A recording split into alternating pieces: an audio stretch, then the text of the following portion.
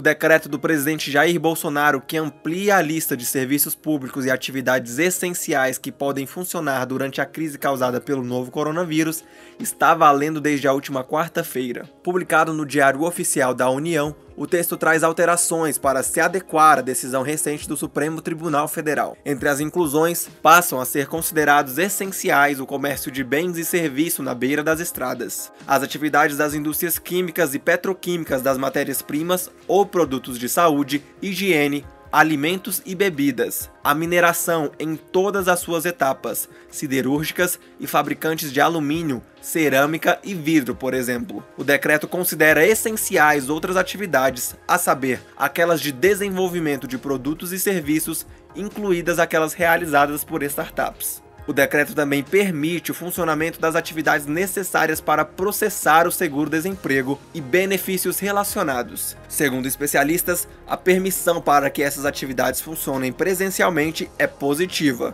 Isso porque há relatos de pessoas que enfrentaram problemas para dar entrada no seguro-desemprego pelo site e pelo número de telefone 158. Débora Gontijo, advogada trabalhista, entende que o texto tenta evitar dificuldades para alguns setores, devido à incerteza quanto ao fim da pandemia do coronavírus. Segundo ela, há indústrias em que o trabalho é técnico e é inviável que o trabalhador opere de casa.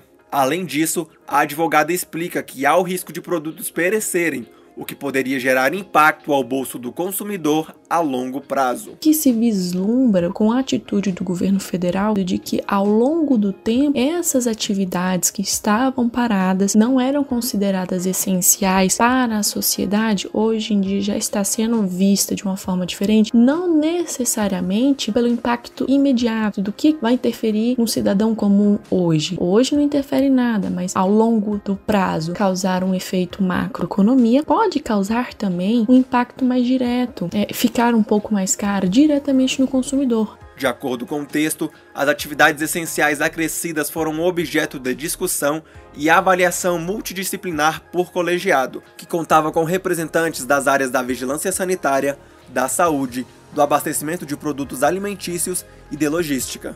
A publicação ressalta a decisão do STF, que há duas semanas garantiu aos estados e municípios o poder para definir as regras de isolamento, quarentena e transporte em meio à pandemia da Covid-19. Segundo Bolsonaro, o texto não afasta a competência ou a tomada de providências normativas e administrativas pelos estados, municípios e pelo Distrito Federal, no âmbito de suas competências e seus respectivos territórios. Rodrigo Veiga, advogado, avalia que o momento é de instabilidade, pois o governo, ao mesmo tempo em que acerta ao editar decretos e medidas provisórias com a rapidez que a crise exige, peca pela constitucionalidade da norma.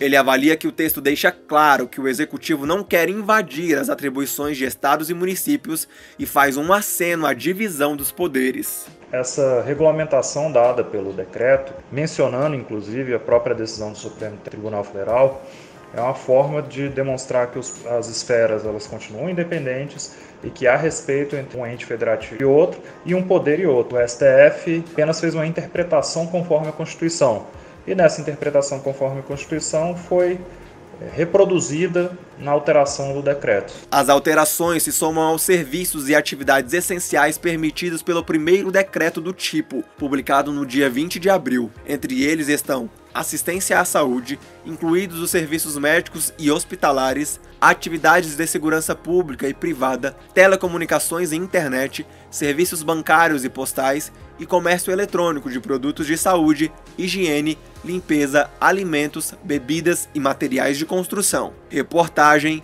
Felipe Moura. Se você gostou do vídeo, inscreva-se no nosso canal, ative o sininho e dê o seu like. Precisamos chegar aos 10 mil inscritos. Até breve.